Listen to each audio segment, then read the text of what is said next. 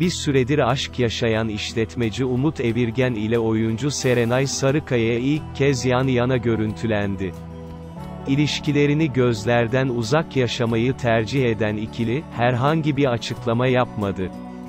Haberimizin detaylarına geçmeden önce bir saniye videomuzu beğenip kanala abone olursanız beni çok mutlu edersiniz. Komedyen Cem Yılmaz ile ilişkisini bitiren güzel oyuncu Serenay Sarıkaya, geçtiğimiz aylarda Tuğba Büyüküstü'nün eski sevgilisi Umut Evirgen ile yeni bir aşka yelken açtı. İkilinin ilişkileri önceki akşam belgelenmiş oldu. İlişkilerini en başından beri gözlerden uzak yaşamayı tercih eden ikili, önceki akşam ilk kez yan yana görüntülendi. Gossipasta isimli Instagram hesabının yayınladığı görüntülerde ikili, yan yana yürüyor. Çift, ilişkileri hakkında henüz bir açıklama yapmadı. Bir süredir Şahmeran dizisinin çekimleri için Adana'da olan oyuncu Serenay Sarıkaya, geçtiğimiz haftalarda Rumeli Hisarı'ndaki bir balıkçıdan çıkarken objektiflere yansımıştı.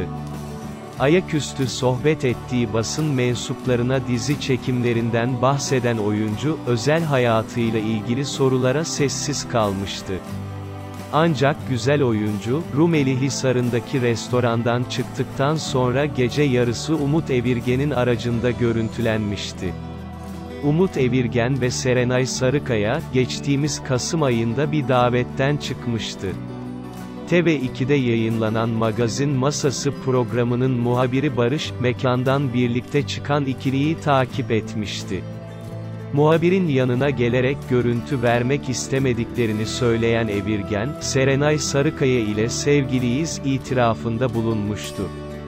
Şimdilik videomuzun burada sonuna geldik. Gündeme dair gelişmelerden anında haberdar olmak istiyorsanız aşağıdan kanalıma abone olup bildirimleri açabilirsiniz renkli sayfalar.